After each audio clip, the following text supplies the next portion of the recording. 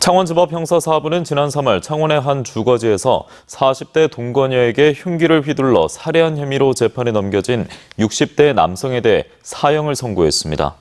이 사건을 포함해 모두 5번의 살인 및 살인 미수 사건을 저지르고 각종 범죄로 29년 8개월을 교도소에서 보낸 이 남성은 공판뿐만 아니라 사형 선고 후에도 검찰을 조롱하는 발언을 하며 마지막까지 반성하지 않는 모습을 보였습니다. 재판부는 무기징역을 선고할 경우 가석방의 가능성이 열려 있어 또 다른 피해자를 양산할 가능성을 무시할 수 없다고 양형 이유를 밝혔습니다.